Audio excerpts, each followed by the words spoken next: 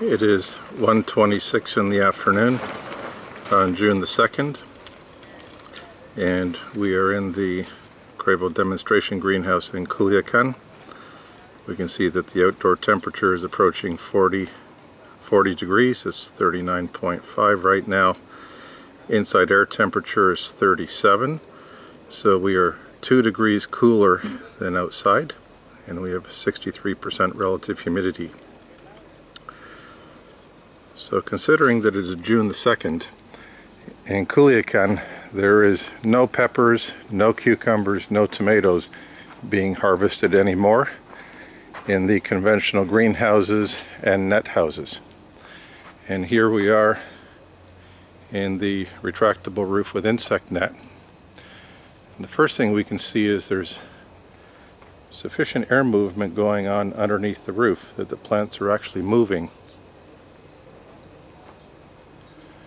So that means we're getting a good air exchange through the net and we should not have any CO2 deficiencies.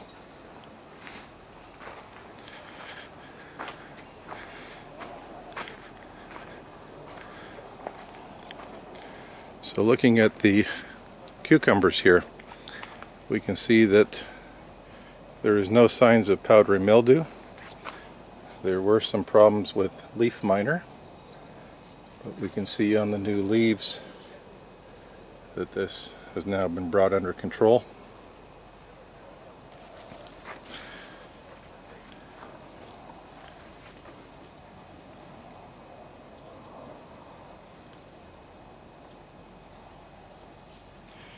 So it is quite amazing to have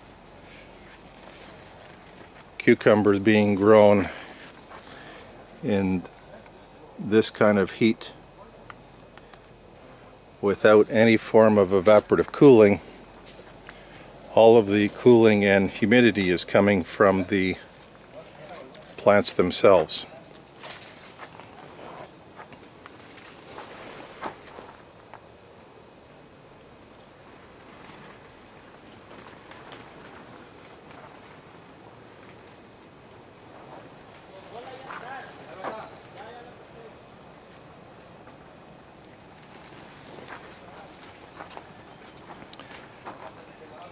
So this cucumber crop was transplanted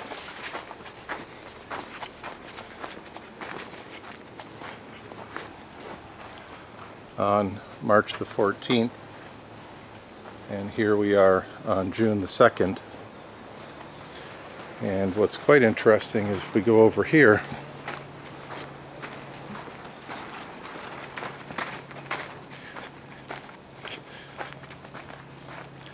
we can see a cucumber crop that was planted several weeks ago.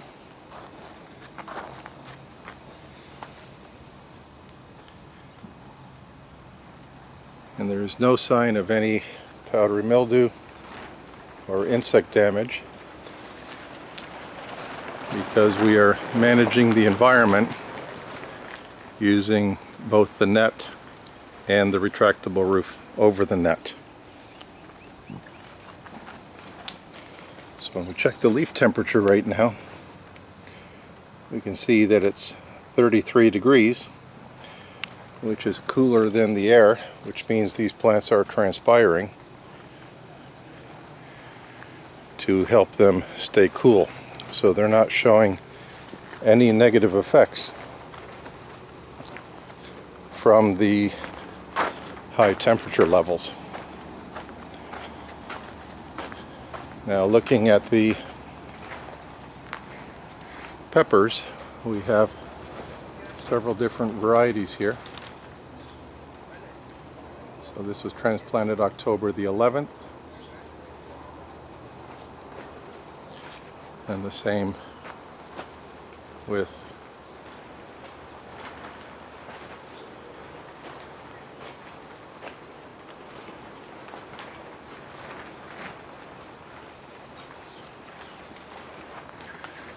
So looking at these peppers we can see that the leaves are still looking extremely healthy and happy. No major curling going on. The fruit is still looking like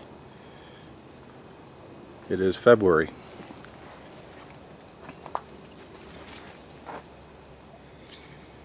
And what's interesting is we had these peppers tested by an independent Mexican testing agency and the shelf life of these peppers was proven to be 50% longer than that grown in a net house.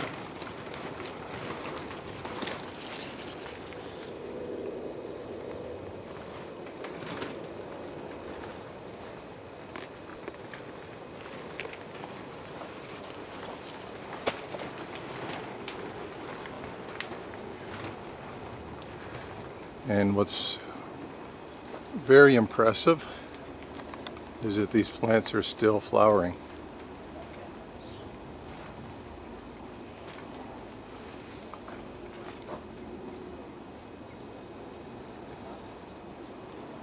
So even though we're having these extreme temperatures, we are able to manipulate the climate better than a net house or better than a conventional greenhouse. And as a result, we are having active flowering going into June.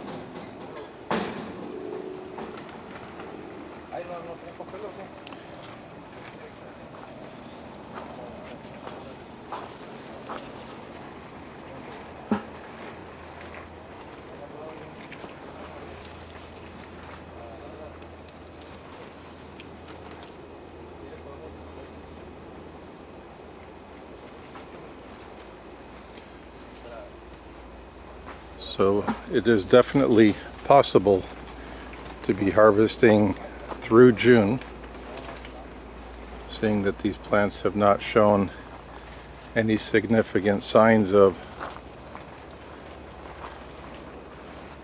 slowing down.